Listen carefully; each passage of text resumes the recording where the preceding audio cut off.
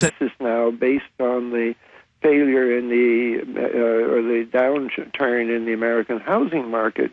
Little innocent countries like Iceland, who have done no wrong to anybody, are suffering terribly because the banking system of the world has supported this bubble and now is, is having to pay for it every, everywhere, every part of the world. There's one other thing. You could easily, in legislation, establish a principle uh, of some kind of ratio between the richest return and the poorest in any business. So if a if a worker in an industry is getting, I don't know, uh, uh, shall we say, thirty thousand a year, you establish a limit, maybe twenty times that, which would be the maximum that anybody in that industry can make. And this is this has been kicked around for some years as a solution to the problem of disparity of income. But uh, I'm not sure that our two parties that are so heavily subsidized by the wealthy are going to put that into legislation, but they should. So just say 20, 20 times as much as the basic pay is the most that anybody can make in any industry. Is that not reasonable? It seems reasonable to guys like you and me, but to the global elite, that's uh, that's going to cut into their profit margin quite a bit. Yeah, it scares them exactly, and uh, that's what that's what we learned in the bailout last fall is uh, how vigorously they fought to maintain their bonuses and maintain their dividends even though they're lucky not to be in jail, some of those people. And some of them actually still, not just Madoff, but a number of other people. I think they're super lucky. It's the Alex Jones Show. We'll be back with Peter Dale Scott, Infowars.com.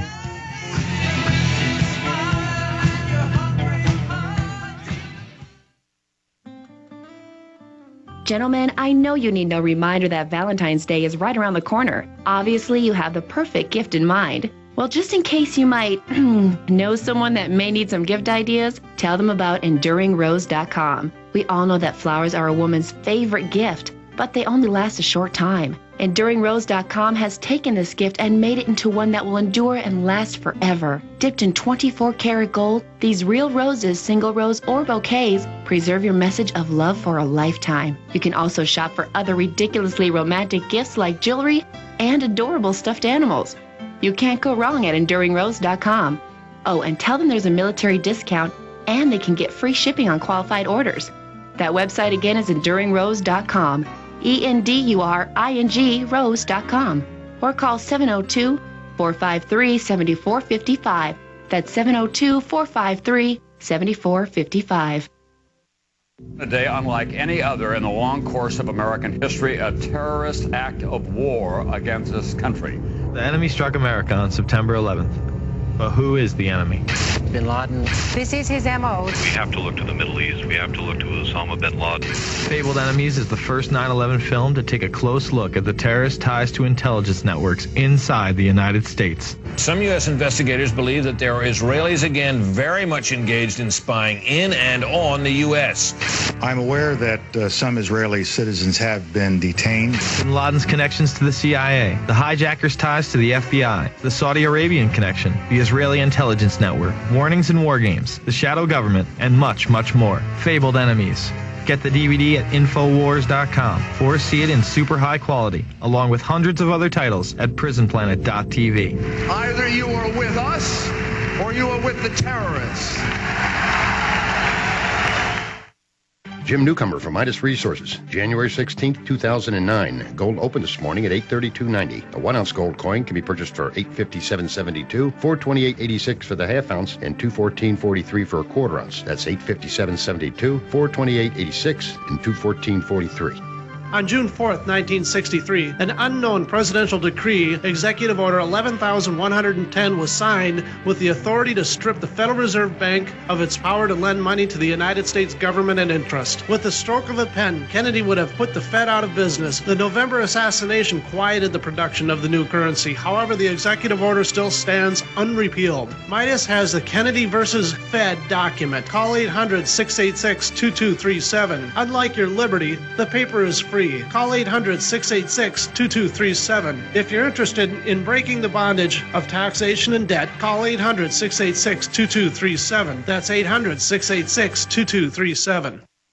Heart disease is on the rise. Clogged arteries, high blood pressure, and high cholesterol levels may not be fully detected by you, but the symptoms are there. Loss of energy, blood sugar spikes and drops, poor circulation, and irregular heartbeat are just a few of these that can alert you that something is wrong. Hear how Heart and Body Extract is making a difference in thousands of people's lives across America. My blood pressure has normalized. My diabetes has totally improved. Everyone is telling me now how much healthier I look, and I'm telling everyone how much healthier I feel. I recommend Heart and Body Extract to everyone. Anybody over 40 in the North American continent should be using this product as a preventative to keep their cardiovascular system healthy. Order your two month supply today by calling 866 295 5305. That's 866 295 5305. Or order online, hbextract.com. Heart and Body Extract, 866 295 5305 or hbextract.com.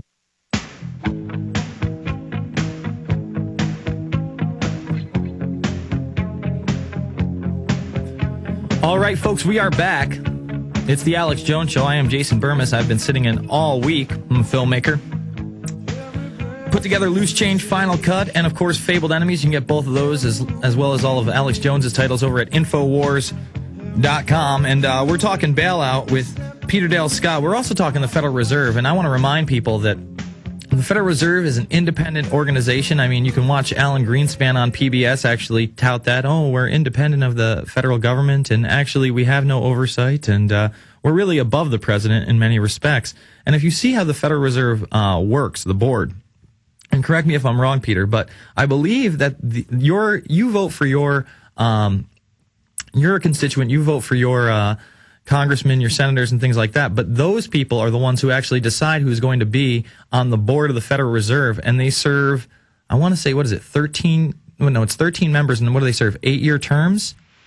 Yes, it's uh, it's uh, a, a, a considered way of preventing people people just printing money. The idea of it mm-hmm. is, and by the way, you do get something like this in uh, in England and in France uh, because uh, they're frightened of democracy uh, cheapening money.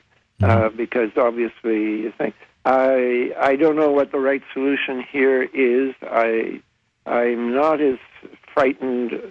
I, my real fear is not the particular individuals who are in the Federal Reserve. My fear is of the influence of the wealthy in this country which uh, works through the Fed, it works through the Treasury Department, it works very much through the CIA, and that's actually been my specialty over these years. You know, the beginning, the, the CIA was sort of planned on Wall Street, and all the first directors, or practically all the first directors and deputy directors, were taken en masse from Wall Street firms, law firms, and Wall Street investment companies.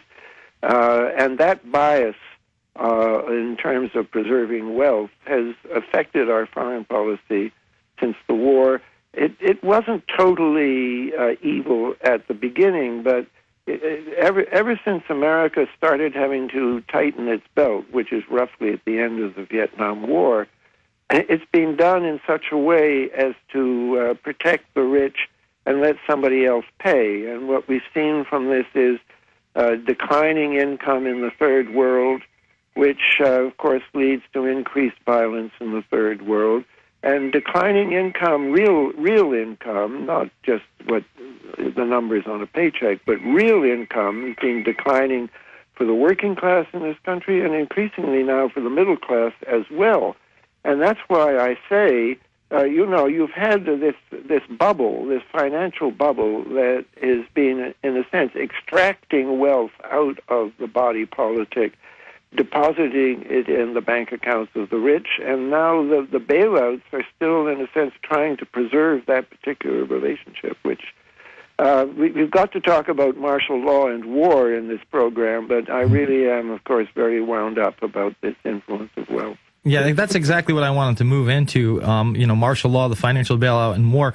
Where does martial law fit into all this? Not only were they threatened with martial law, but we have an Obama administration that says that they're going to redistribute troops into Afghanistan. Obviously, there's tensions not only in Gaza and Israel, but Pakistan is now more and more, you know, showing up on the media as the enemy. I mean, Is, is March